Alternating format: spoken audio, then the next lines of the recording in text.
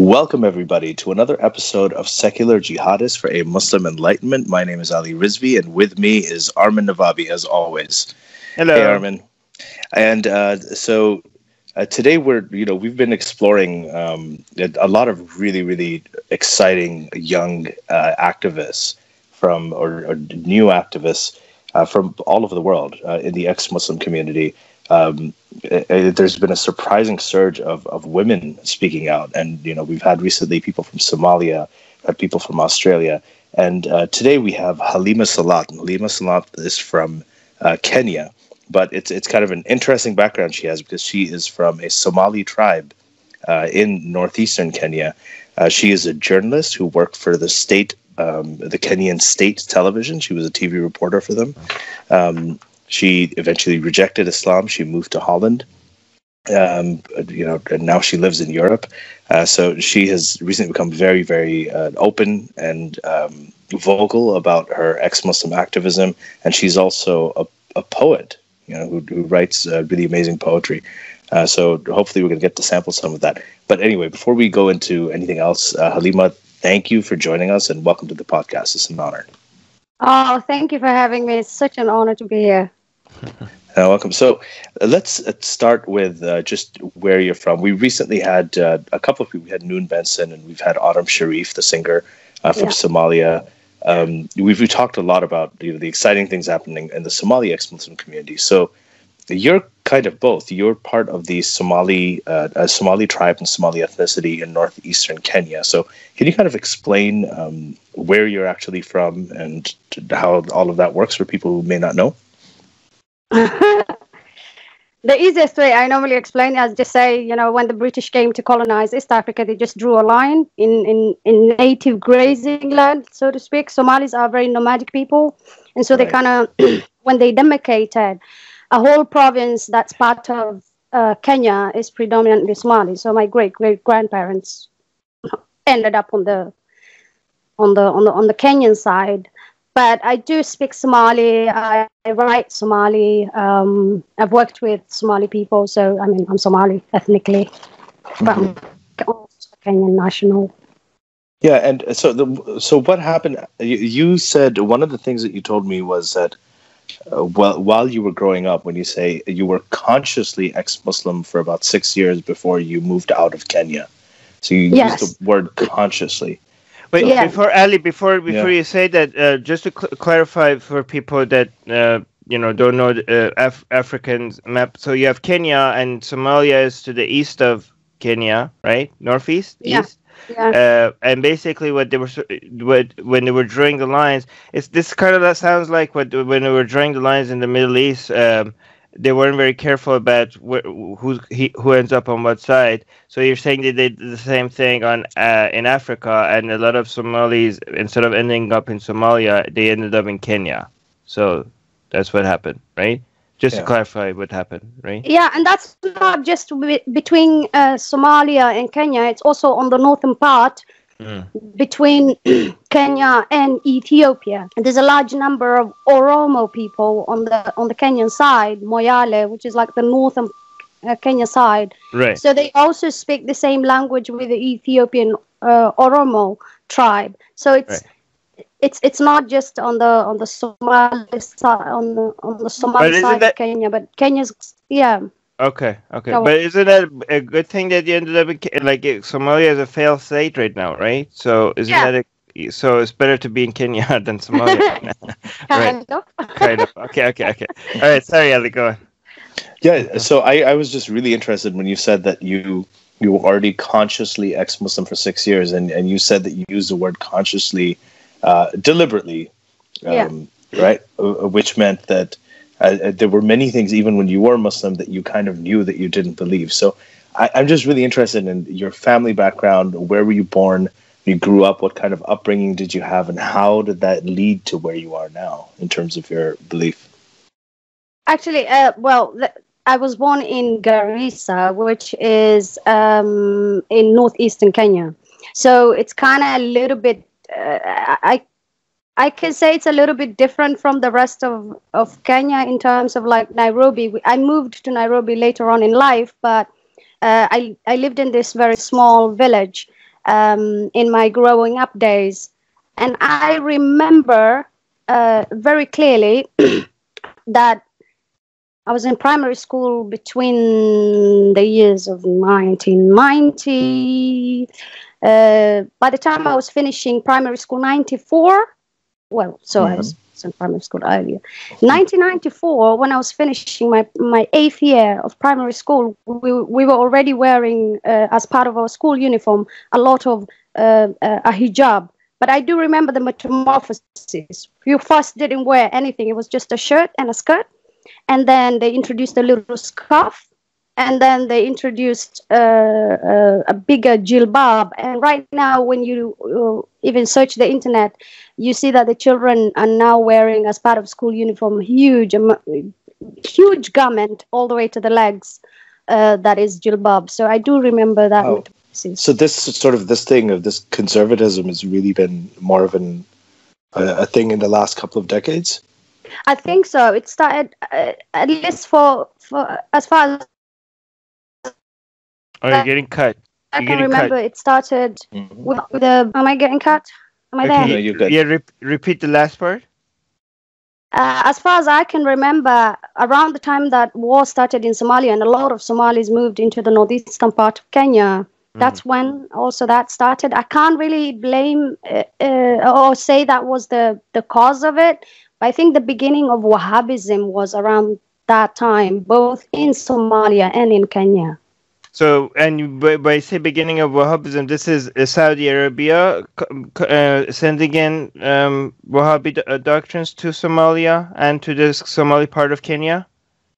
Yeah, because I do remember also there were so many charities that were set up. Hmm. Uh, right, that's how they uh, come in. I don't know if I can name them, but yeah, I do remember even the names. Uh, that these charities were coming and they're building lots of mosques and there was lots of money into into madrasas and, and all that yes. kind of stuff. Yeah. Why is it so same everywhere? Like this is the same story for afghanistan for pakistan from somalia Kenya, like it's just it just sounds so similar everywhere. Like oh, like in Pakistan, we didn't know the difference between Shia and Sunni, and all of a sudden we had 200 more madrasas everywhere, and now we realize yeah we have to hate the Shias. Now the hijab is everywhere. So like you see that, like it seems like it's Uh, the same it, uh, uh, uh, after 1979 after the revolution in iran it seems like the story on how wahhabism also spread as a reaction to that everywhere in islamic countries it just seems so the similar story. Is that is is that what you experience is that what you feel like well like when you hear other people talk about what happened in afghanistan and pakistan or in other yeah. countries is that like deja vu for you? Uh, yeah? Yeah it's kind of yeah, because it's kind of it, this is the as you grow older and you read stuff and you get exposed to the world that's when then you say oh it's not it wasn't that different. It's the same. Right. uh, and you kind of start to see the patterns. Yeah it's it's a form of this is the thing it's it's a form of colonization. There are many people who complain. Mm. It's amazing. There are a lot of people in the Muslim world who complain about the British. You know, we it's a problem. We just talked about it. British yeah. coming in and making lines and colonizing and changing everything, taking over the culture. But then, you know, you have uh, when Saudi Arabia and conservative Islamic ideology goes to all of these countries and just completely yeah, destroys. About, yeah, nobody's talking talking about uh, Arab colonization as much as they're talking about Western colonization. And in mm-hmm. Africa, Arab colonization has kind of pretty much spread, I, I, I, guess. And I mean, in the form of all these um, charities, so to speak. Uh, mm-hmm. so, so but when the it seems like Saudi Arabia's budget is uh, starting to dry up. Do you think like this is going to put it like uh, when the is that going to put an end to all of this? No, I think that'll take a while to yeah. dry up. I don't know. Don't know. Uh, well, I feel like be, the people have sort of forgotten. I do remember very early, uh, very early when I was a small child, um, even my mom not putting on a very conservative clothing, but more like you know a, a little traditional, uh, over the shoulder mm. kind of thing and and and and and then as we're growing up my mom enforcing the hijab uh, mm. on us very strictly and so you can see the the changes that the so- societies have gone through. What what is the motiv- What was your mom's motivation? Was it that, that she personally became more, um, you know, conservative, or is it because of the environment and you know adapting to the you know saving face and becoming accepted in the community? Like, was it a pragmatic approach or was it a, a ideological approach that she? well, I think it's a bit of both.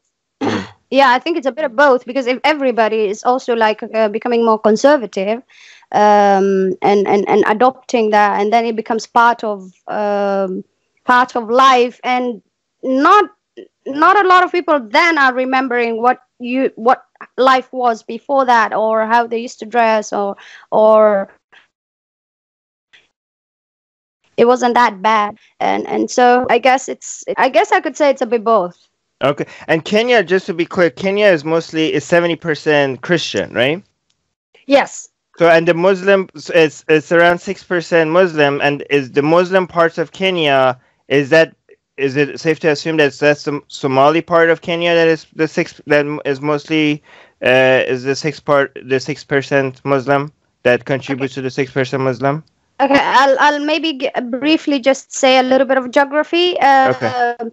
Kenya has eight provinces, and mm. in these eight provinces, two of them are uh, predominantly Muslim. And mm. so you have the Swahili people on the coastal side, mm. Um, who also got uh, you know influences from uh, Arab. Uh, actually, Swahili. There are people who are mix of Arab and Bantu Kenyan, so they call they even call them the tribes are called Swahili. Hmm and Swahili language in itself was born from from a bit of uh, a mix of both, and so you have that that province that's predominantly also Muslim, and the northeastern part of province Kenya, which are also predominantly Muslim, but also uh, like Somalis, one tribe. Somalis live in that region, the northeastern part. Okay, um, so these two provinces are the Muslim parts, and the rest are Christian. And and the, how do the Christians treat the Mus- uh, Kenyan Christians treat the Muslims? well, in the recent years, there've been a, an upsurge of uh, terrorist attacks from Al Shabaab across the border from Somalia. Right and uh, Kenya uh, faced some really uh, terrible times. Uh, with there was a mall uh, attack. There was also mm. an attack on a university. Um, so as, as, soon as those things started happening, then the the, the Christian population uh, would start to look at even somebody like me as I go back to your country. I'm like, this is my country. right. we read about those, I think. Right. Attacks yeah. So even though you're not a Muslim, because you're you're Somali, you get some backlash from the Christian because of the terrorist attacks. Um, yeah. So I guess uh, are the Muslim and and the, are the Christians there uh, conservative with their Christianity? Um, is it like a lot of Christian laws? Because I heard like the LGBT community is in Kenya is has it really tough because of the Christian people there. Is that true? Exactly. So basically, uh, um, I can say on a general, homophobia in Africa is quite, you know, it's on the high. Right. And LGBT community have always have to fight. And but on paper, Kenya is supposed to have a, a we pa- Kenya passed a new constitution in 2010, mm. and in this new constitution it's supposed to be like secular and and they try mm. to separate state from religion however Good. the leaders and the politicians are all, you know, um, from a Christian background. So they also ha- they influence. They, I guess they're influenced by their religious uh, standing or their religious beliefs, and so uh, the LGBT community tried, uh, I think, sometime early this year to to get one law revoked that doesn't allow them to get married. It's, okay. it's actually it's it's it's a contradiction in the law. It says anybody is allowed is not supposed to be discriminated against uh, based on religion, race, and and sexual orientation. But then it says, oh, marriage is only for man and woman. So. Okay, but but Kenya um, is good is relatively better uh, based on African standards, I guess, right? Like I mean, compared to Uganda, uh, for LGBT people, Kenya is a lot better, isn't it? Well, they are becoming a little bit more visible now, and they're kind of fighting, okay. and they're taking things to court, and they are they're really trying. There's a lot of activists uh, uh, who are trying to change things. Yes. I would say, uh, and yes, of it's not as bad as Uganda because in, in Uganda it's enshrined in the law to to discriminate against. I'm, I'm not sure. I'm not yeah. factual. Yeah. Uganda. But I'm very impressed that like I, I know like you're saying execution wise it's not very secular, but the fact that they're even putting trying to make the laws more secular. I mean that's pretty that's that's progress, isn't it? Like aren't you optimistic about the direction things are going with Kenyan laws? I'm hoping, I'm hoping, uh, when you listen also to people, the general public, uh, I don't know if this is also from a cultural uh, perspective that people just don't like um, mm, uh, LGBT people. It just look down upon them. They look it's shameful, and and there's a lot of ostracization and you know uh, fussing about the whole thing do we have atheist activism? Like atheist republic uh, kenyan consulate is uh, is is getting more active i think. So i, I mean hopeful of that but do, do, you, do you have when do you notice any atheist activism secular activism in kenya I think I, you know, before I moved, if, if I could just give, before I moved to Holland, I was hiding my my atheism or mm. my my, so I kind of didn't seek too much, um, too much people online, I could say. But mm. after arriving here, I've had a couple of uh, things like, uh, and I've seen a few interactions here and there, but not directly. Uh, right. So it's good that it, it, it's you got cut. You got cut. Active. That you got cut. Fantastic. Can you repeat that last part? It's good that they're getting active. Uh, that would be fantastic to, to join and to interact with.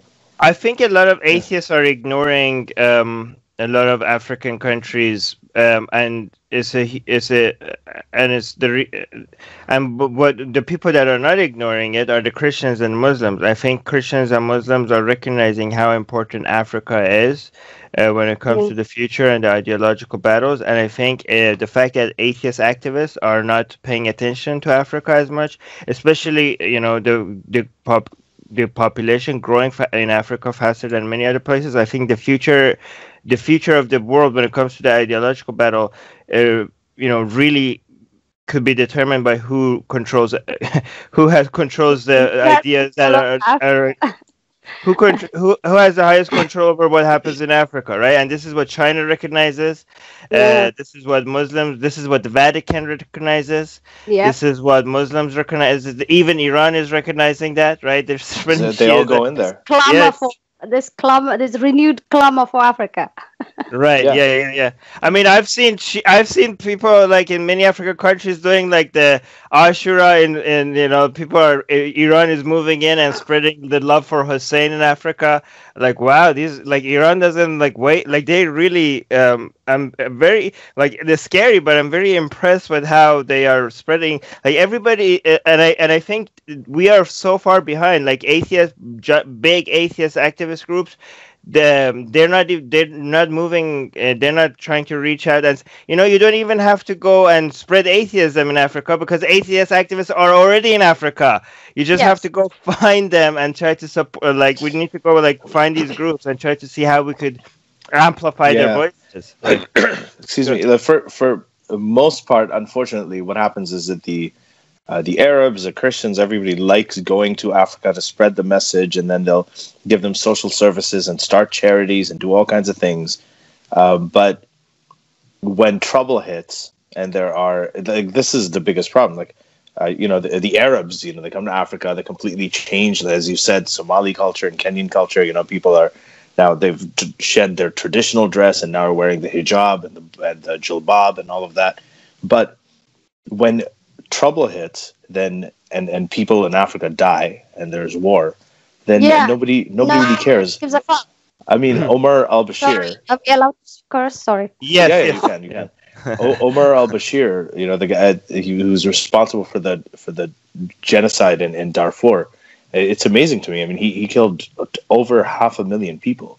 Like half a million people, black African Muslims, died uh, in that in Darfur in that whole conflict, and they were done by an Arab Muslim guy. Uh, Yeah. If he had been a Jew, right, or if he'd been, yeah, go ahead, Halima. No, go go go on. Sorry. No, I'm just saying, if it had been anybody else, if it had been uh, a Jew, it had been a Netanyahu or something, or Ariel Sharon, it would have been. It would, they would have yelled. All the Arabs would have talked. Oh, they're killing all these black Muslims. The Arabs would have been screaming about it, but uh, because it's themselves, that nobody nobody really cares. So Mm. that's, I think, also one of the neglected. Um, it, it's just massively neglected. But isn't that ways. because isn't that because um, I know that racism in the world exists, uh, and the mainstream racism we know is normally from white people to brown people. But I personally think that Arabs are quite racist towards black people, um, and and Islam itself, for me, sometimes when you get given this this whole uh, story of Bilal that has been overused o- over and over again, I'm like, no, Bilal is a slave that joined yeah, let's go find yeah. out. yeah. Mhm. So I, I remember I I, I uh, there was a brief period I also like uh, studied uh, the Quran and Hadith, and I kind of wanted to re-believe. Uh, and I remember coming across these stories, and I already was feeling like, okay, there's a lot of, um, you know, there was the history of slavery, and then there's the there's a lot of racism uh, that you can feel it with interactions as well. Um, and then I was like, I want to find out what is, is is that really true? Is like uh, is, is is Islam uh, against racism, or was is there some sort of history? And so I remember I read a lot of text, and I was like, okay, now I know. Yeah, But C- uh, ca- Chris I mean- Rock. I, I I have to have to say one thing. Chris Rock said something. One of his famous quotes is that uh, believing. I'm paraphrasing. He said, "Believing Christians, uh, uh, b- black people who are believing Christians have a very short memory." And I think that that would be true also of uh, Yeah. you know black people, Yeah. Muslims, just Yeah. in the sense that it was just premised on all of these religions, Christianity and Islam. They're premised on on slavery. I mean, they they condone it. They there's no place that says uh, you, you should not own slaves. All of the places say this is how you should sell them. This is how many shekels you should get for a male slave, for a female slave, and this is how you free your slaves. This is how you can have sex with your slaves. That that's what all the rules. And nobody, there is no place in any of these religions in their scripture that doesn't capitalize on slavery. Um, and it's just been practiced the entire can time. I It's can I just to be fair to Islam, okay, and I don't say that often, but to, Yeah. but I, I want to be Let's, we're gonna we're gonna cut this part out and make it like a yeah. um okay so i mean i i shit on islam all the time right but i think this is one situation where um you can't you, you can't you can blame muslims but you can't blame islam uh so to be okay islam there's nothing in islamic text that allows um racism right and again just to make it clear i'm not i'm not you, i'm not wait, wait, i'm what ah, I didn't hear you. You you cut. I okay. didn't hear you. so I said, I said to be fair to Islam, there's nothing in Islamic text that allows racism. But okay, to to make it clear that I'm not defending Islam, it does allow slavery. Okay, but not racism. Um, and this is again not to defend Islam because um, again it's it's allowing it's allowing slavery, which is pretty pretty bad. But technically, under Islam, it's true that all people are supposed to be equal under Islam. And again, and uh, it's not a defense of Islam because it still has tribalism in a way that Muslims are superior to non-Muslims. So it has that form of tribalism, but it has it doesn't have the tribalism that suggests some races are superior to other races. As long as you're a Muslim, you're equal to your other Muslim, uh, as long as you're a man, by the way. So men are still superior to women. But um, so there's sexism, there is slavery, there is not racism in Islam. Muslims, uh, in practice, though, Muslims are extremely racist. Like Arab Muslims see themselves as superior to non other Muslims. But there's nothing in Islamic text that that condones that, right? So I'm just want to be fair to what what we can blame Islam for. We can blame Islam for slavery. We can blame Islam for sexism, but we can't blame Islamic texts and theology for racism. There's nothing. I, I have book- a I have a rebuttal to that, but Halima, Okay. go first. Okay. Yes, I was I was really waiting. Okay, sorry. um, there's there's this phenomenon i guess that i don't know whether it's really peculiar only to somali um, muslims that there's this narrative that they were that that came with a religious tec- text and religious imams and uh, you know that said that they are closer to arabs. They have arab descendants so they sh- uh, they should they should feel themselves better than other black people because uh, and, and the fact I don't know whether it was like a way to convert to convert uh, Somalis into into Islam or but there's this notion and this belief that among Somalis that you know that they feel they're better than other other black people because they're closer to Arabs, which just doesn't make sense to me. Right, but is that is That's that in that's not in the Quran or the Hadith though? That's I just don't know what text that that came with, but it's predominantly there. right. So so so somebody could say, well, that's Muslims, not Islam, right? So that's just the Muslims being shitty, racist people. There's no Islamic text that supports that. So that's what I'm saying, right? If, Yeah. if when it comes to slavery, you can I can show you a lot of texts in the Quran and the Hadith. I would look, yes, look, look, Islam does condone slavery, right? Or when it comes to sexism, I could show you a lot of hadiths and texts in the Quran that say like, look, yes, Islam is a sexist religion. It's a but there, when it comes to racism, there's nothing I could show in the hadith or in the Quran that says, look, as it does. There's nothing there that sh- suggests that there's Yeah. one race is superior to another. But go on. so Alex. this is this is one of the things where um, you know again I, I don't like getting into this literalist conversation but when Yeah. when the literalist thing happens you know you say yes okay slavery it talks about slavery but not racism but in practice uh, the people who were owned as slaves back then in, in those Practice, Meccan times yeah in, in practice it was understood that these people were Africans right Mm. so th- and there were black Africans so this was this is more of a dog whistle where uh, you know, on a superficially, what they're doing is they're going out and saying, "Well, uh, we Islam is for everybody as long as you convert. You know, you're Muslim, blah blah." blah. But but uh, un- under the surface, in practice, even during the time of Muhammad, it wasn't like that. You you look at the Hadith, you look at the Quran, uh, you look at the description of the virgins in heaven. Their skin is so white, they are so fair that you can see their Right. bone marrow. You Yeah. can see that that's a Hadith. First of all, I don't know why that would be hot. Out. Automatically, we ain't gonna be among the virgins in heaven. I know if you see you see a, a, a woman right, and you could see her bone marrow through her skin, I'd be like, okay, get the fuck out of here. Like I don't know what's going on, but but th- that's what it describes. That's how fair they're so fair that they're transparent. Th- there are numerous things like that that praise fair skin. It it also says that the virgins will have large eyes, which means that if you have an Asian fetish, you know you're you're done.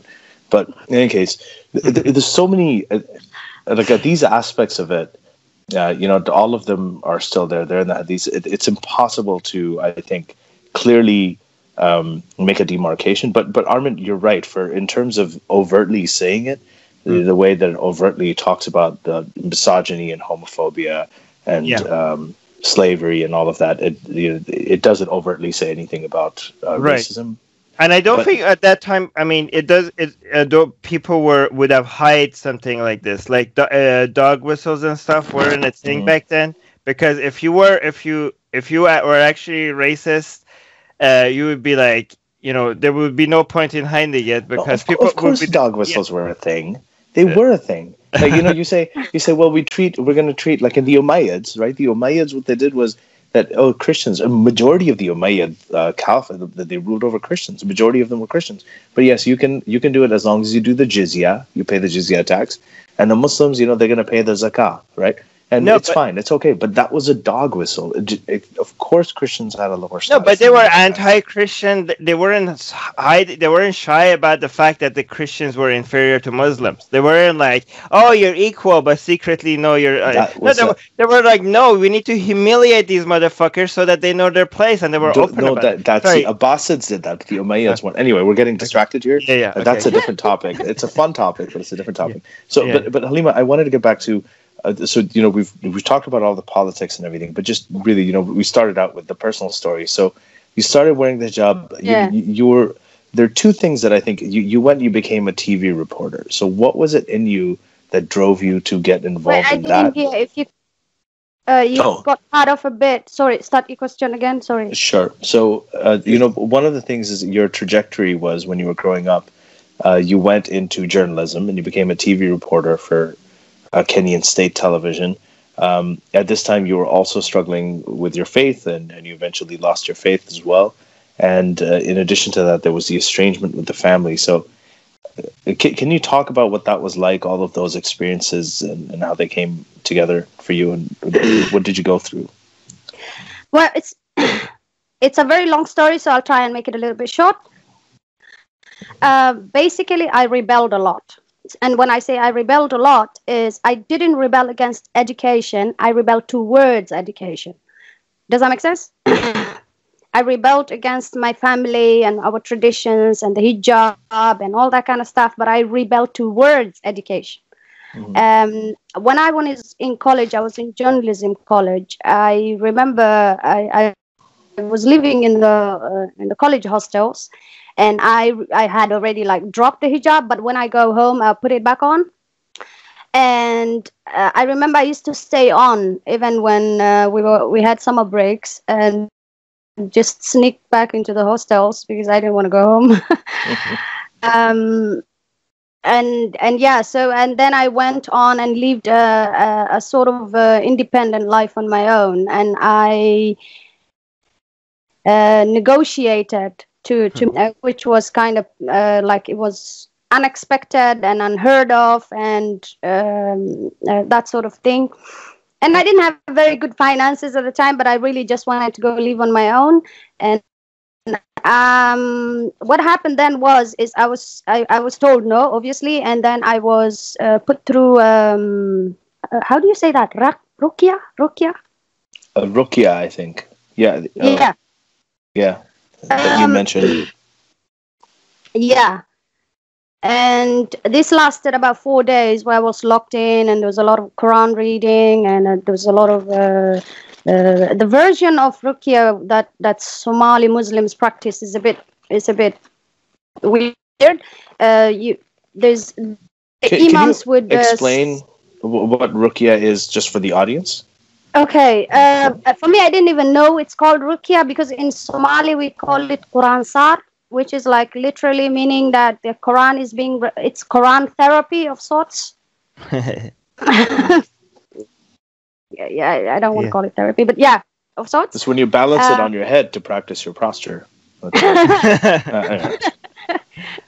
Yeah. Go ahead. and you have uh, the family would would make a little bit of a feast and you have all these uh, sheikhs the local sheikhs the, or, or somebody who is an imam in, in a mosque would come to the house and they'll be reading quran the entire day. They spit in a bowl of water. You have to drink that bowl of water which is disgusting.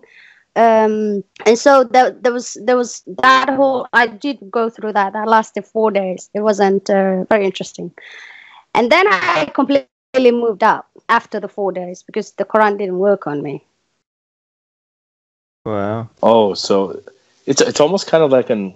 It sounds a bit like a milder version of an exorcism. Yeah, it was, but, uh, but there was also physical beatings. What the Um, hell? What? Oh, so it's Yeah. not a milder version. It's probably No. worse. It's a Uh, worse version of an exorcism. Yeah, I was asked uh, in the living room in in our flat Ruby to sit, and and all these guys are reading the Quran, and then there's a guy who's got um, it's not really a stick, it's more like a, a pipe, a water pipe thingy. Oh, and he's God. beating me and he's saying that you know i have jinn and the jinn needs to speak and the my jinn isn't speaking at that moment uh, or whatever jinn i had or i didn't believe i did Uh, Jinn, Um, Jinn is like a and demon, so- by the way, for people who don't know. A demon, yeah. yeah demon in, in me or or something and then at some point it got to reading the quran with a with a with a you know like the toilet toilet paper roll that, Okay. the, the pipey toilet paper roll thingy and put it in my ear and read it so loudly kind of didn't work. So anyway, after four days of that, I completely moved, and I never looked back. Four days. Jesus. Okay, so, so so apparently what you're supposed to do so that the people stop beat. I think this is how it works. Let me know. By the way, can you come a little bit to your left, more a little bit to your left? Okay, yeah. Um, so I think the way the the way, yeah. Oh no, actually, more to your left. Yeah, that's great. Ah. Perfect. Yeah, good, good, good, good. Um, so I think the way that uh, correct me if I'm wrong. I think what you're supposed they're trying to beat you and intimidate you until you actually start speaking in a in a like a devil kind of voice and say like yes this is the devil i'm speaking right now. They just want you to do that so that they stop beating you uh, like so to make it sound seem like it uh, worked right? So basically what you're supposed to do is like talk on behalf of the demon inside you and be like yes this is the this is the jinn speaking now oh stop like you have to like you have to act along. You have to play Yeah, the I- part I, I, yeah, I should have been a little bit more strategic and known that that's what they were looking for. And but I was in my head, I was quite rebellious still. I kind of was like, "It's- it ain't touching me. It's it, this this is not working on me. You guys are wasting your time. so yeah, you- somebody didn't give you the memo. Like everybody, like yeah, we know I this. didn't get the memo. Yeah, you just have to pretend like you're the yeah. should have known that. like, God damn it, girl. Yeah, we know this is all bullshit, but you just have to. If you want us to stop beating you, just say you're the Jinn, and then we could all go home. Yeah. It's been four This days about- already. how how how old were you around this? Was this around the time of college, school? Yeah, I just I just like uh, had finished my last year of college. It was around. Uh, I was about 20, 22. Mhm. Um, 20, 22 actually. Yeah, and I yeah go on. No, no, hold on, Armin. Uh, no, no, I wasn't saying anything. Yeah. Oh, Armin wasn't saying anything. Sorry, glitch. My apologies, Armin. Yeah, and I I I, I got a little a little uh, uh, sales job, which was just uh, giving me a few a few a few you know some money, and I I thought that it would have been a nice negotiation because already my family knew I was quite rebellious, and I had already brought shame and all that kind of stuff. Um, but yeah, it didn't happen, and Oh, yeah. I think what triggered was when I tried to save this child. Um, she was four. She was uh, going to be uh, circumcised. And um, I, I didn't have a proper plan. I was just, I, you know, I was broke. And uh, I, I thought that if I just take her out of the house on that day, and, uh, you know, the chance to have the circumciser, you know, she was ready, would be gone. And it, that's it, it does haunt me Yeah. Mm. to to to this day um, because I couldn't really save her. Uh, I came back with her quite late in the evening, and yeah, it's still yeah. I was in a lot of trouble. I was uh, in a lot of trouble. So that's what triggered the whole uh, um, uh, Ruqyah thing. That's yeah. I was. that's why I was asking you whether you were in college because I, I thought that I was wondering if that had anything to do with it. The when you tried to save the four year old child from FGM and you you weren't successful that then, but obviously it's not your fault. I mean, you know that. No, it was around the same week actually. Just just after I'd done that with a child, and it, it kind of didn't succeed. The child w- was taken uh, uh, from Nairobi to now northeastern Kenya for uh, for circumcision, and yeah, I was feeling a little sad about that. And I uh, then I you know um, my mom was convinced that that I needed uh, Quran therapy. Um, H- how, how, So how basically, is- just to summarize, you tried to save a child from uh, from being uh, from cutting some people cutting off her clitoris, and the reaction was like, "Okay, you you're possessed by a freaking demon, and we need to exorcise you because you wanted Yep. to save a child." Okay, just Yes, to summarize for people. yes. Okay. that's that's basically yeah. That's that's Okay. basically So- it, yeah. What is the uh, how common so this is kind of interesting in the sense that uh, i mean it's tragic but uh, fgm in kenya where you were um, how common is it because in somalia it's up to like over 98% right uh, but Yeah. Now, in Kenya, is it the same rates, and does it differ between the seventy percent Christian population versus the provinces where it's predominantly Muslim? Um, there are Christian populations that also practice FGM in Kenya. You have the Maasai, the Samburu, uh, the Kuria. Okay, sorry, these are going to sound all weird to you guys, but you know, those fine, are names of fine. tribes. And, and they do practice, but I think what they have in common is some some Kushite tribes, Kushitic tribes. Okay, Kenya's tribes are divided into Bantu, Nilotic, and Kushites. So Kushites have all of them practice FGM them, but you do have other tribes that do. So it's it's a little bit less in some communities and a lot high in in other communities and in other tribes. Like the Somalis, it's really high. Like nobody escapes. Right. Almost. So, so you had uh, people in your family, everybody who who had undergone FGM. Yeah, I have undergone FGM when oh I was six. Oh. Oh, you also went to underwent. So it. why Okay. did you? Why? Why? Why are you different from people around you? Like, what makes you like be against this? Like, how did you manage to escape that kind of brainwashing? Are you just like naturally different, or like, did you were you exposed I to don't certain? know. I don't, I don't know. I think I asked myself that question and I kind of tried to create the backstory um, after I became like consciously, I don't believe.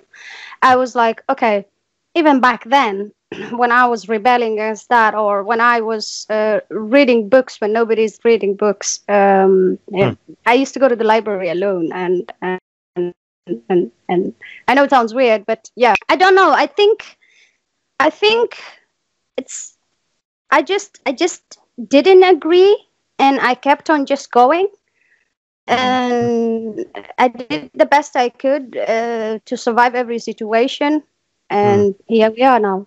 I don't consider myself a victim now. Um but yeah, it was it Why was not? You you had your you had your you were cut as a child. How come? You, how is it? How are you not a victim? uh because because that happened when I was 6. I was a victim at 6. Oh, okay. I'm not a victim now. I see. I see. I see. Yeah. Does that make I- sense? Yeah, I mean, you said in your uh, email to me that you don't look at yourself as a victim; you look at yourself as a survivor.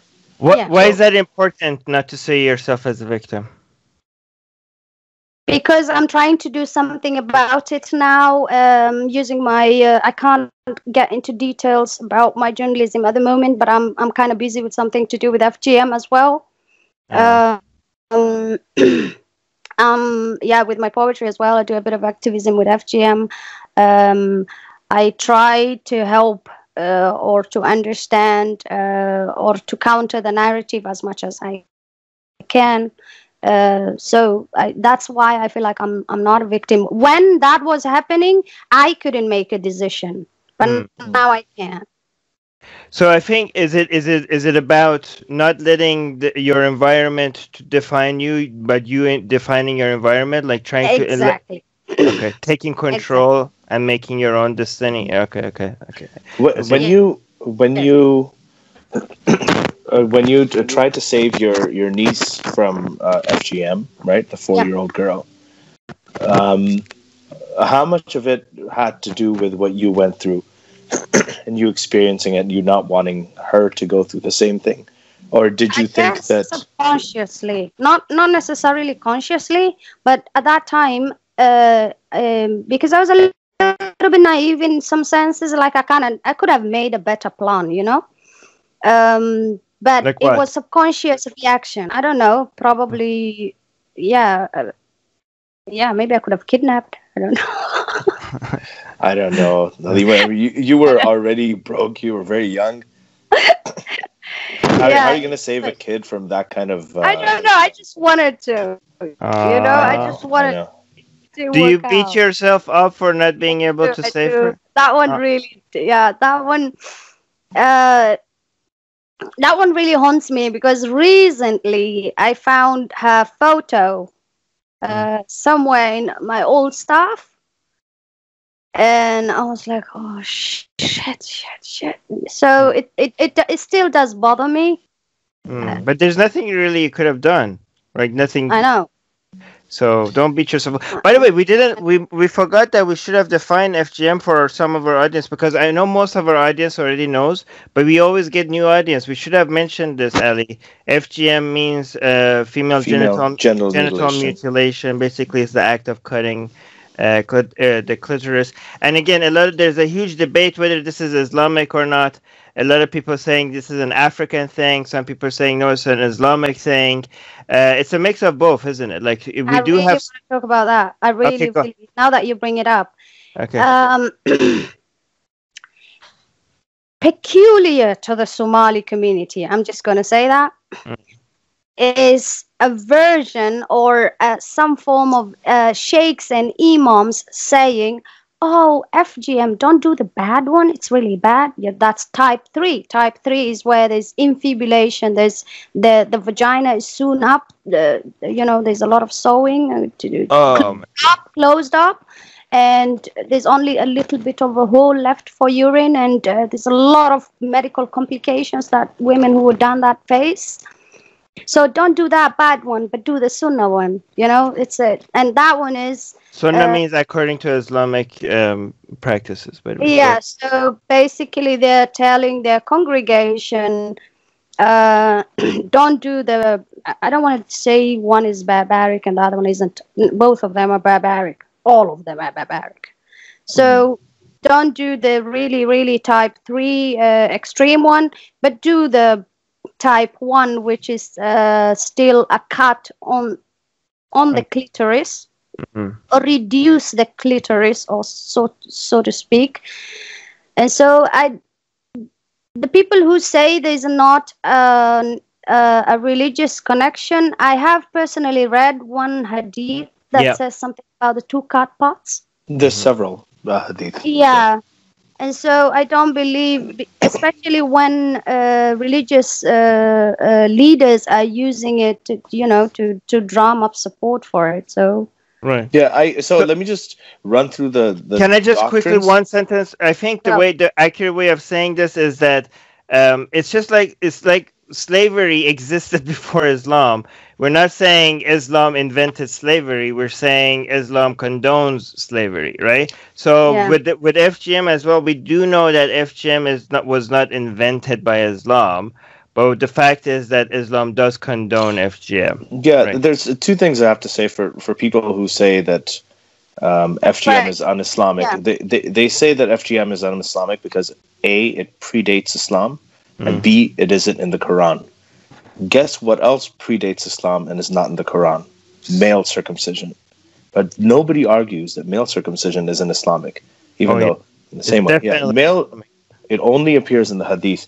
So the way that it is in the Sunni schools of thought in the four madhab, uh, right? The the Hanafis, uh, the uh, uh, Malikis, uh, and the Hanbalis, they they all think that uh, FGM is uh, not obligatory, not mandatory. Okay, so Ali, you have to explain. These are three of the four Sunni Islamic schools of thought. That's what you Yes, just mentioned. yes, they call uh, they're called the madhab, uh, the four madhabs in the uh, Sunni Islamic schools of thought.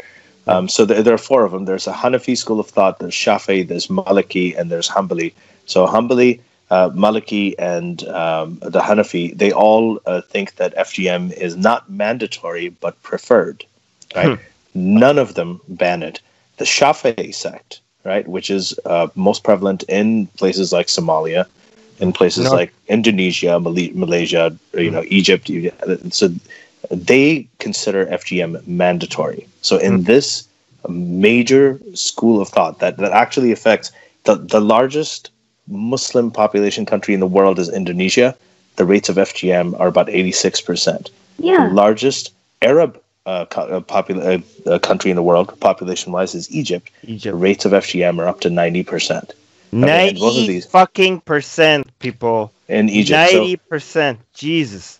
so so this is so FGM is definitely Islamic. Yes, it predates Islam, like male circumcision. Yes, it's not in the Quran. Slavery male also predates Islam, but it's Islamic. Exactly. So so there's no this idea that it's not Islamic, and just because other people do it isn't uh, uh, it doesn't really hold a lot of water. Um, right. Yeah. Uh, so so one of the other activists. By the way, been, One thing we need to point out: the whole like if you think about the quote unquote logic behind FGM, um, I'm using logic very loosely here, but uh, makes it even uh, more ridiculous is that um, the whole point is to remove the pleasure that the women are feeling from sex. The whole point is to stop her from having premarital sex. Yeah. And it, yeah. And, yeah, I mean, she's just a baby making machine. She, there's no point in making her enjoy it while she makes. That's the whole. Yeah, it's so. It's. So, I mean, how that's so fu- so fucked up. I no, mean, but the reason you know the reason for this. What the reason? Just from uh, an anatomical point of view, the clitoris is the only organ in the entire human body, male or female, that is exclusively dedicated to sexual pressure. It has no reproductive pleasure, function. Yeah, yeah pleasure. Uh, the the the penis has reproductive function and excretion function, right? The mm. the vagina has reproductive function as well. The urethra has excretion function, but the clitoris has no function, no reproductive, no excretion. The only purpose of the clitoris is sexual pleasure, nothing else.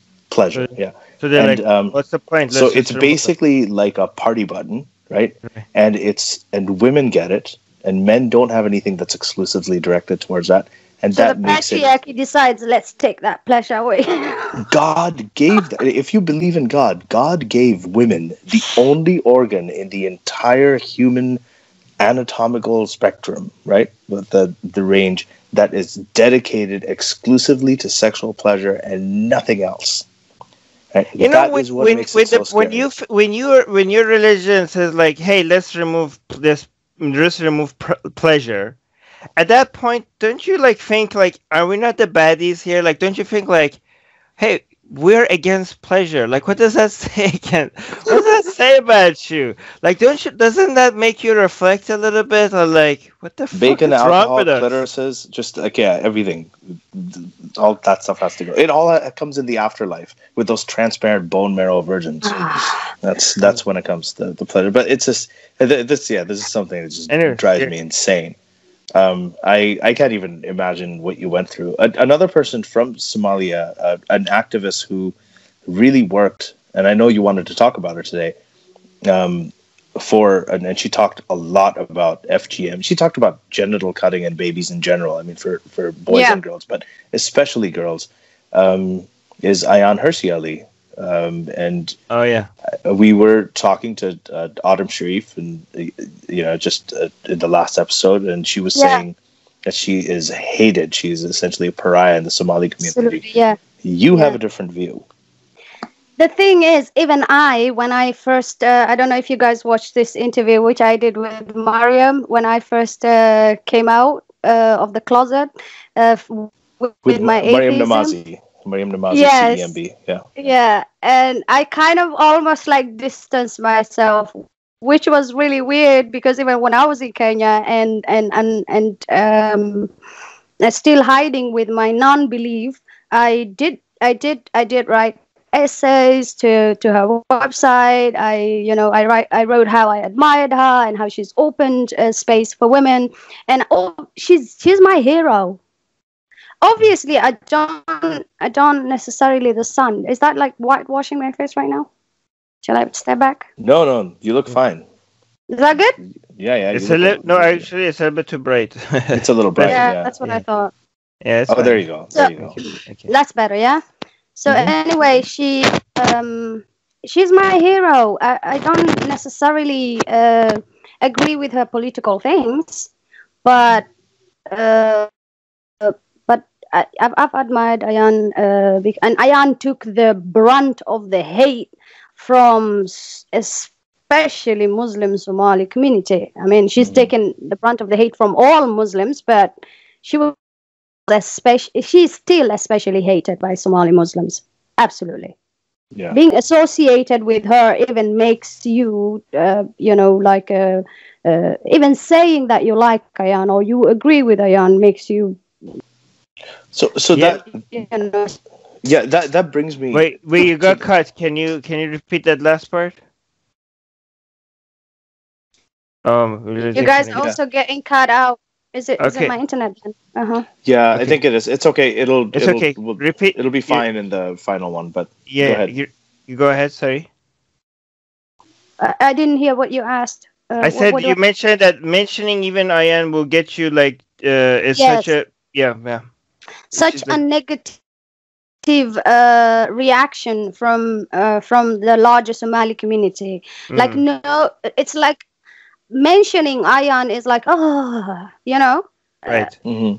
yeah, It's kind So of like that- that- Salman Rushdie in some other circles, right? Yeah, like yeah. Ayaan is like the devil reincarnate, like for a lot of people, especially in African, uh, Islamic Yeah. African countries. Yeah, okay. Yeah. So, uh, but but the thing is, so and this kind of brings me to um, the ex-Muslim community in Somalia, Kenya, and you know just generally uh, your, where where you come from. So the ex-Muslims are they're very closeted. They're underground. As much as everybody hated Ayaan and openly nobody could say it, Ayaan, you said she is your hero. Um, we've had people. Uh, Noon Benson has said that she really admired her, and same thing. Not, a lot of us don't agree with all of her politics. That's fine. Um, yeah, But there's so it did it did it did come to you. I think Ayaan Hirsi Ali, whatever she was saying, eventually when you were younger, you were taught to hate Ayaan, but as you grew older, that message did resonate with you, and probably with a lot of the underground ex-Muslims in uh, Somalia and Kenya. So, what is it like for ex-Muslims? Under are you in touch with any of them? Are there any networks? yes, yes. Unfortunately, I can't get into details of what kind of places they're underground in. Of, Of course, yeah. of course, yeah. um but there's a really uh, uh, and you know it, okay there's people who use online uh, yeah, who are online and maybe do a little bit of activism and they uh, they will use fake profile of sorts. Those are the guys on the top layer. There's another layer down under which is full of guys who who do not who will keep on changing their you know on online profiles every other week because maybe it will be discovered and whatnot. And they will be super careful what kind of groups they would join and they'll be super paranoid about who they tell anything. But they're Hmm. there. They're there and we're, we're, we're kind of we're just kind of touching the surface of being plugged into them right now and Why? and the interesting part is this is how people identify each other especially from the ex-muslims from the from somali background Mm. they identify each other with a few code words you know like um, waq waq is a one code word Oh yeah, we And- we know about Waq from Noon from Noon Benson. She has a Yes, podcast and- called Waq yes. Nation. Yeah. I know, Sure. I know. Um, I follow it. I follow it, and and Noon and I also are, uh, uh, you know, together in those underground places. What does So it mean? We recognize each other on the surface, but we know. Yeah. Can you explain the Sorry? Waq uh, phenomenon to or the mythology to uh, the audience again for those who are unfamiliar? Well, uh, uh, Somali Somali language has uh, an oral narrative that has been told over generations. So personally, because I'm not from really from Somalia, I've heard this narrative as well that Waq was a sky god, uh, a mountain god, and and and rain god. Um, I think no, wait, wait, wait, wait. I got I got that wrong. Waq was the bigger god of all these other gods. So it's like the supreme being. Mm. But what's happening, I think, among Somali freethinkers and Somali atheists is like they would invoke that to counter Allah. It's like it's like just you know use that as a code word um, to counter the existence of Allah and say that that's not Allah. We we're going back way back, and in the online interactions that is being used right now as a way to recognize each other and as a way to send each other messages that hey i'm a free thinker hey uh, there's even different versions of it. Like um, i've heard from some of them and maybe maybe this is not like across the board that Mm. if they want to send out the message that i am a free thinker or uh, an atheist and i'm also gay they would make waq a female. So they'll say waqat Ah, This would be like This is so- just or ama- if, they, if, if if it's a if it's a if it's a woman um and who wants to send out the message that she is a lesbian and at the same time uh, an atheist should use another mythical character in the fairy tales called uh, Arawelo. Arawelo was Okay, supposed to be um, a feminist in, in Somali folk folklore uh, And Arawelo. So if you see people using online, sorry. What's the god? What's the what's people? What's the god that they use for atheism? This is so funny, God for atheism. But I wanna I wanna use that god as symbolism for stuff. Like what is that? Waq. W A A Q. No, It's- no, yeah. waq was for something else. So for the athe- which god was for atheism? Symbol for atheism. No, but you see, the thing is, Waq did exist in the mythology of, of Somalis. right. However, right now in the in the in the current internet use, they are using that to recognize each other as atheists. This is the Right. thing. So I just want to. Yeah, I understand that, but but but it, it seems like Yeah. they're using different gods for different meanings, right? So I just want to make sure, like, Waq is exclusively used for atheism, or is it a cer- certain Armin, kind? she's saying that they're using Waq uh, throughout. It's just that if they're gay, uh, then they're I- also adding wakat. to Okay, so what to do you it add? female, to make I understand that, but what do you add to this Waq like thing? it's- what it's just add- Waq for atheism. It's just Waq. Oh, That's it. okay, okay, okay.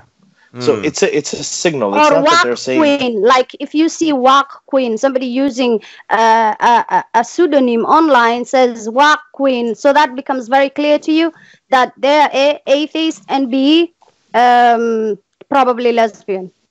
Probably. Yeah. Liz- So the, Liz- I I just wanted the big atheist goddess. That's the bigger thing over here that I want the just the audience to understand that the consequences for just saying that you think differently, you believe differently, uh, that you, you you're an atheist, you're a free thinker, you're lesbian, you're gay, the consequences are so dire that this is they have to come up with codes to speak to each other online. You know, even Are, are we even if they're talking about the anonymous. consequences in Somalia or in Kenya? In- Both. Also, the guys who live in the West, you would be surprised the amount of people who are uh, from Somali background who live in the West who are deep in the closet with their beliefs and with, whether they're LGBT as well, deep in the closet with everything. Because um, the survey I did, it, it's still going on. This I'm still getting responses. Um, I had this particular question: What's your main reason for being anonymous? And I can say 90% are saying my mom, my family, my mom, my family. And majority of the time it's my mom actually. So I'm I'm trying to understand that it's of course people have loyalties to their families definitely uh, and it's a difficult thing to navigate but a lot of people who are in the closet are not just in Somalia. right. They are in free Okay. countries. Can we put can we put this in perspective by comparing these three together? What would be Uh-huh. the consequences in Somalia? What would be the consequences in Kenya? And what would be the consequences for Somalis living in Western countries coming out openly? Okay, Somalis, if I can just, I don't want to generalize. Of course, there are wonderful families out there and there are horrible families out there, but Somalis are like a very tight knit, um, uh, hard community, if I make, and forgive me if it's it, if it's generalizing. Um, and so, whenever uh, a person says that they don't believe, uh, and because their identity, the Somali identity, and Islam has been so intertwined that um, they will au- automatically will face complete uh, ostracization from family, from friends, from community. Hmm. Okay, so but those are the consequences for, let's say, the guys who live in the in the West. in the West, in the okay, diaspora. Yeah. ostracization and abandonment from community and being disowned by your family. That would be the Yeah. Somalis living in Western countries, right? That's So, yeah. what about Somalis living in Kenya? Let's say a Somali coming in Kenya, uh, coming out as an uh, gay and atheist. What happens to you in Kenya? Okay. Oh, you got cut. in Hello? Kenya, let's say, okay, Okay. in in like I- like I was explaining that. God, are you there? Yeah. Am I there? Yes. Am I go. back? Yes, you're Okay. back. Yeah. So, like uh-huh. I, I was explaining earlier, that God is really big in Africa, Right. Uh, in Kenya. Uh, if it's not the the uh, if it's not Allah, it's the Christian God. So I'm imagining a situation where somebody eh, would also lose their family in Kenya, but at the same time they will not have state protection or there are no systems to protect them with their safety. So if a family wants to harm them, nobody will give a hoot. Oh shit. Okay. And in some, I'm, I'm guessing when we go now to the next level, Somalia, the government will also join in in harming you. No, that no, that's yeah. Yeah. There's actually right now there's a guy, there's a university professor who made a a Facebook post just uh, telling he it was something really harmless to be honest. He said like instead of praying to Allah for for water or whatever, why don't you guys get into irrigation and and start fixing your problems?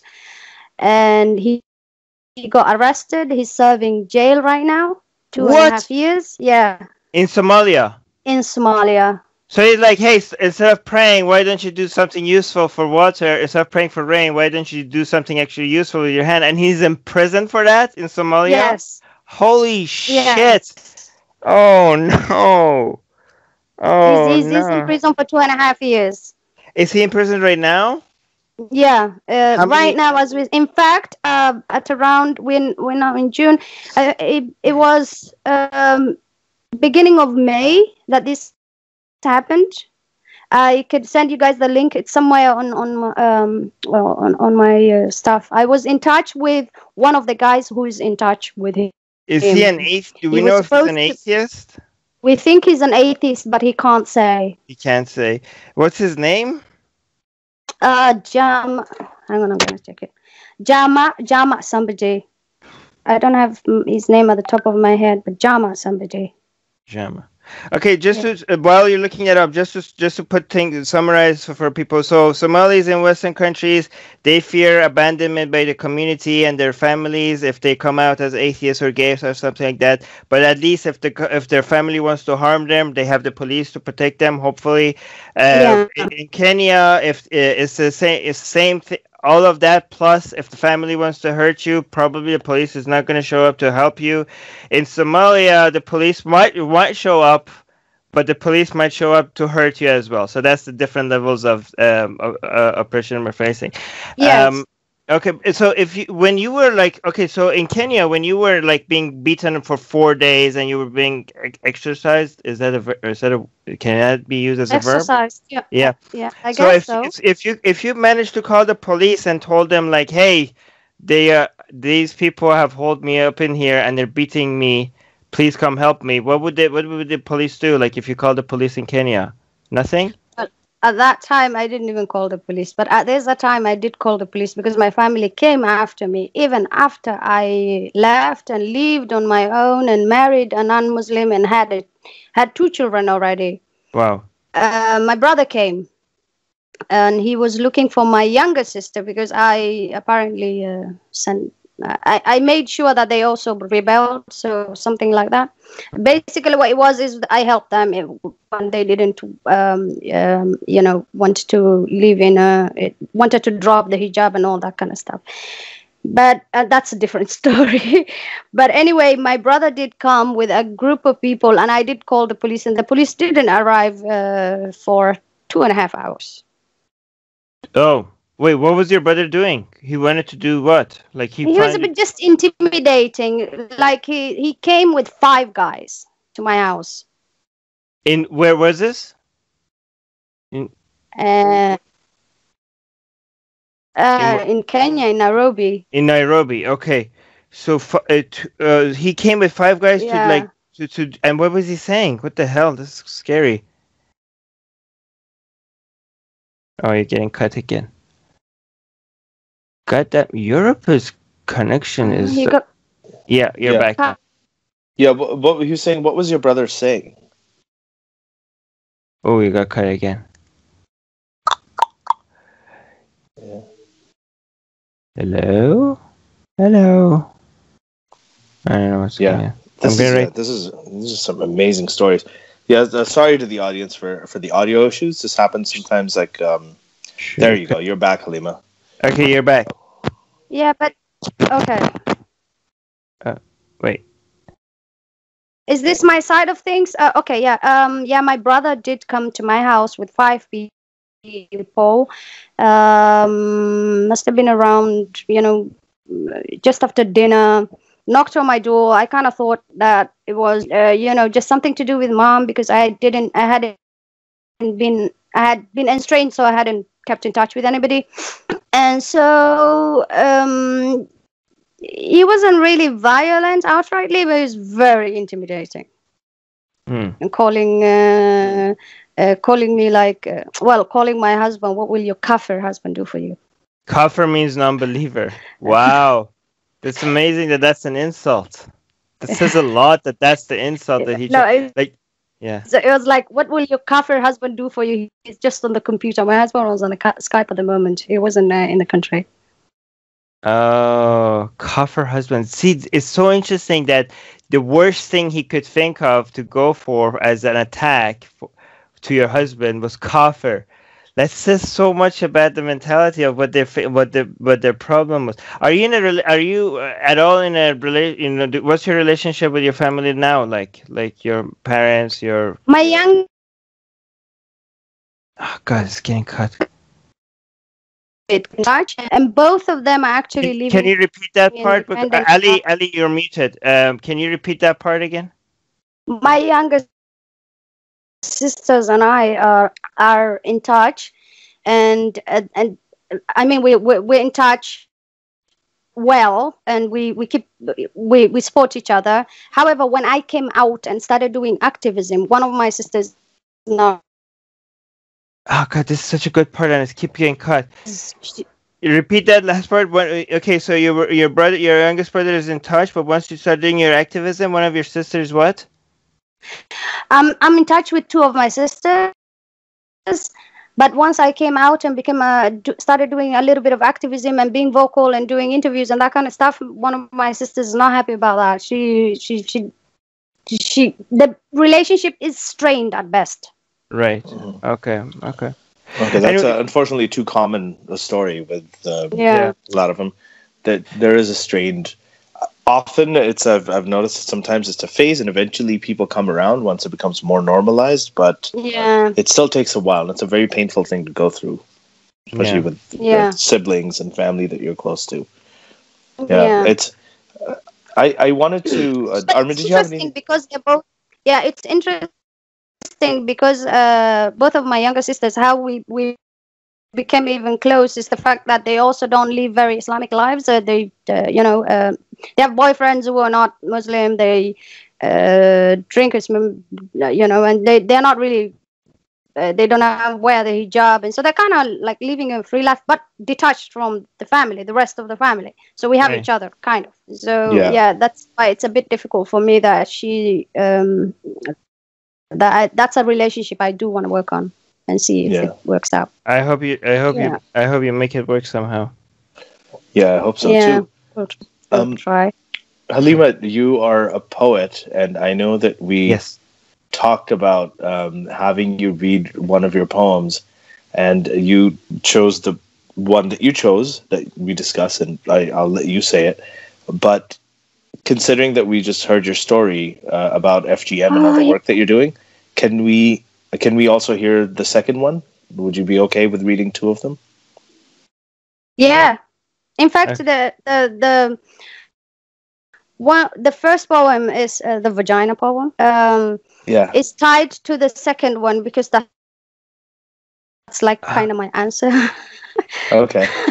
Okay. Yeah, I mean, in one I tell what happened, and in the other one I'm like, "Fuck you." So um, I, hope I hope it doesn't. Your connection doesn't get cut in the middle of you reading the poem. If it does get cut, then uh, I would send me a video separately of you reading the poems, and I'll just attach it here. Okay. So this this this particular piece is called uh, the vagina poem. Um, sometimes I call it the vagina piece or the vagina poem. It's an anti-FGM, um, and so it goes like this. My vagina has a story to tell.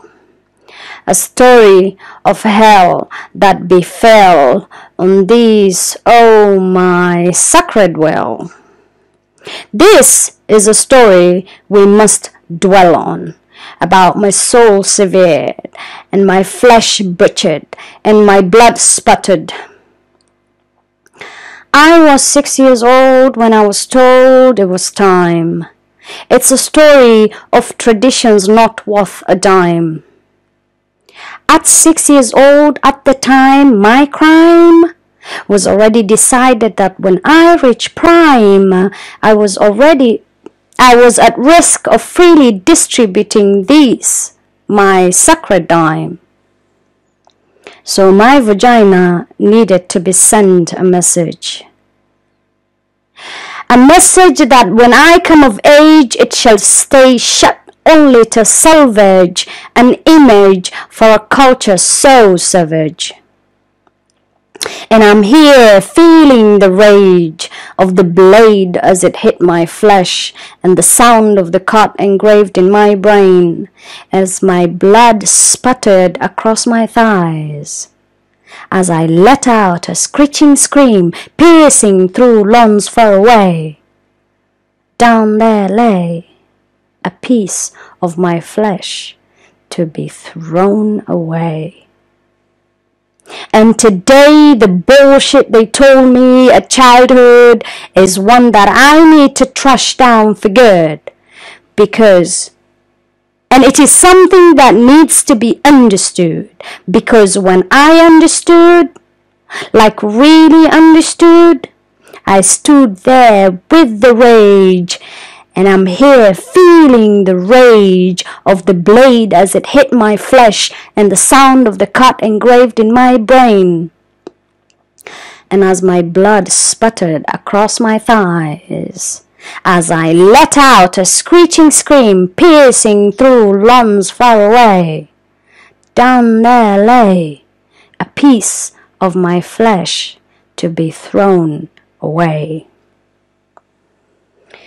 So that's it for the vagina piece. I normally do um, connect these two pieces together. The second piece is called um, Dear Patriarchy.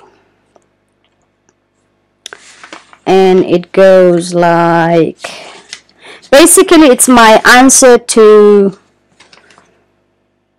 the scenarios of, of, of FGM and it goes like this Dear Patriarchy, what's your deal really? Because when I woke, I wondered, hmm, why exert so much power over my body, my soul, my vagina, and my feisty hot head of rebellion? Dear Patriarchy, is it possible that you're a tad bit fearful of me because I do see through you?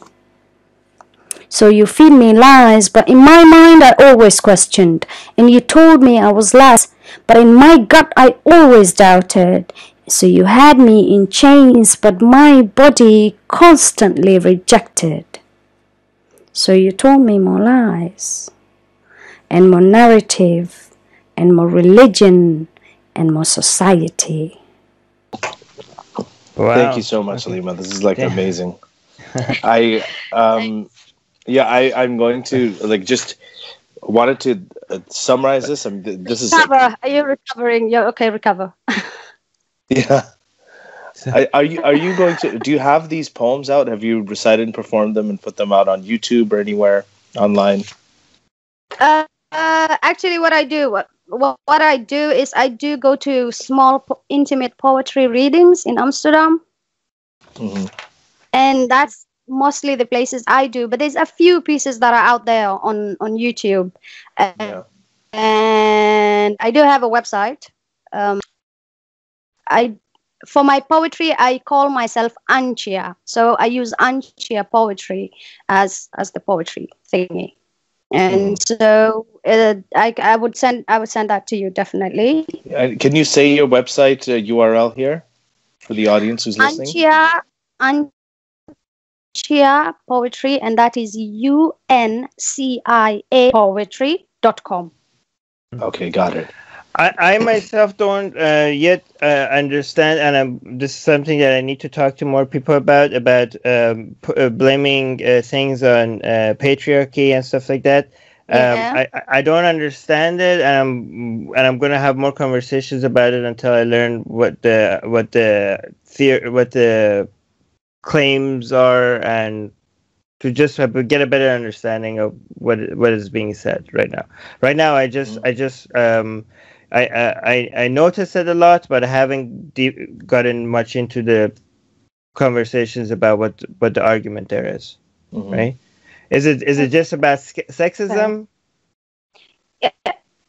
For me, sometimes the way I look at it is like I look at it like this invisible power um, that has that has its leg in different parts of society. Not invisible like we don't believe in the existence of anything invisible, but Mm. like there are different aspects of society that just you know um, I don't think patriarchy and masculinity are the same thing. A lot of people just uh, uh, conflate those two Narratives- narratives to to to downplay one sex over the other. For me, Mhm. Um, I, I mean, I, I there are many things that are uh, patriarchal. Is that the right way to say it? And I know that, and I know that that is the case. Like Islam is, Christianity is, Judaism is, Hinduism is, Buddhism is. But I do wonder if there are many things that could uh, be pointed out at. Okay, this is you know patriarchal. But I do wonder if there are if the label is being used on too many things where it's there are other source on places where the source of the problem is something else and the Uh-huh. label is being used too loosely on other things where the problem is not patriarchy like i'm not saying patriarchy is not the problem because patriarchy is Yeah, the problem no wait that, that's I- I inevitable. know, yeah. I know, I, I, und- I think I understand you, Armin. Uh, Right. Yes, the, it, I think the problem is that the term itself, or maybe, yeah, uh, the term itself has been used loosely, Right. uh, especially a lot lately, right and so maybe that's where where the the the conflation comes. But It's- I it's do, like un- I- I, think I get what you're saying. Right. No, it's just like I think, for example, when when it comes to atheist activism, for example, right? Mhm. What I notice when it comes to atheist activists is because their hatred for religion has turned into a situation for a lot of atheist activists for where they see everything to be the fault, every problem in the world to be the fault of religion, for example, right? Like they see, like they over, they over you, they over, they exaggerate the um the religious faults, and so basically, just because you're fighting against religion, that doesn't mean that every fucking problem in the world is the fault of religion, right? So when basically when you turn into a hammer, for example, uh, everything looks like a nail to them, right? So as an atheist, as an atheist activist, you have to admit, like, with that, you know, there are things in the world that are wrong with the world that has nothing to do with the religion, right? So I think ev- so. That, that's what I noticed in my own activism among our, our atheist activism, and I think like every active, every group of activists has that in their community. Like if uh, so, for example, feminists, there are a lot of things that are because of sexism, but there are problems in the world that has nothing to do with sexism, right? Um, or like if somebody like. I, I you, do you know what I'm just saying? Like, I just want Yeah. to be careful that not just with feminism. I'm just saying every activist group has to be careful uh, not to uh, try to make their the fight that they're fighting or the disease that they're fighting to make that seem like that's the only disease in the world and everything could be somehow related to that I, disease. I think Yeah, the thing I- is that I don't doesn't mean the that disease doesn't. yeah, Yeah, I was saying, go on, go on. yeah, that doesn't mean the disease doesn't exist. That's all exactly. we're. Is Exactly. that we the patriarchal system is it's a reality. There are some people out there that say just because it's wrong, and I agree with you, it's wrongly blamed for everything and it's used as a scapegoat for all kinds of things that may not have to do with it. Um, there are other people who react to that and say, "Oh, that means that the patriarchy is just a myth; it doesn't exist." That is not. That's obviously No, no, not that's true. a myth. That's not Yeah, a. It's not a myth. Obviously, Yeah, if yeah, there's, yeah, yeah. it- So- if so- a problem, I just want to make sure that uh, uh, people don't overuse it. yeah, That's it's, it's inevitable. I mean, but people like anti-Semitism is used so loosely. Um, you know, the bigotry, like people calling each other bigots, is used so loosely. I mean, we all get called bigots, right? For being Oh, ex-Muslims. but- Islamophobia is being, Huh? yeah. Now that we're talking about terms being used loosely, Islamophobia is one of them. It's Yeah, Islamophobia. I find it as an oxymoron, in my opinion. It's just it, it, Oh yeah, Yeah. yeah, yeah, it is absolutely. We've been talking about that for a long time. yeah, I know. But um, I I wanted to like Halima. I just wanted to, uh, to thank you for coming on. I think your story is amazing. But I want to hear her response to me. I would just want to say, Oh, like, I, okay, go ahead. See, this is patriarchal. You're not even letting her respond. No, what's patriarchal is you expected that you will have her respond because you're a mm. man. No, what's What patriarchal? No, no, no. What's patriarchal is me explaining to a woman what patriarchy is. That's what. It, What, what patriarchy is is two Oh, guys arguing while we have a female. We're mansplaining this to you. Yeah. and we're we're, not letting the woman speak. That's Yeah, we're not letting her speak. Look, patriarchy at work right here. Go ahead. Go on.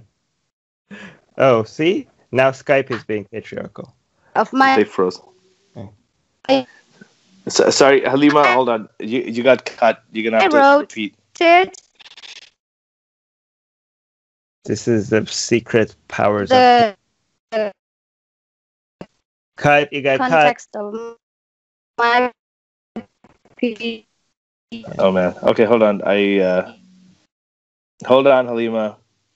Sorry, you got cut. That whole thing got Uh, cut. Can you yeah can you repeat everything you said? You just got cut. The whole thing got cut. Patriarchy. You're back. Okay, okay. Uh, a bit of a bit of a context for my piece. hmm And the context for my piece was uh, when I wrote it, it was kind of like a, uh, my fight back and a reply to why FGM was done to me. And so for me, the way I understood why FGM was done to me or to other people who, who is that this is all about making sure you know that she she preserves her virginity for a man um, doesn't also get as much pleasure as a man does.